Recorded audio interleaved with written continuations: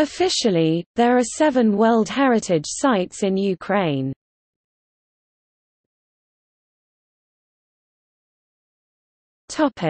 World Heritage Sites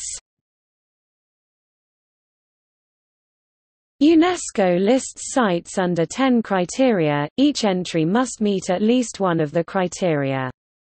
Criteria I through VI are cultural, whereas VII through X are natural.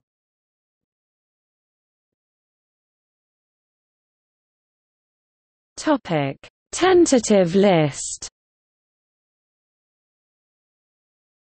Ukraine has 15 submissions on the tentative list. One of the submissions is an extension of the existing site of Kiev's historical monuments.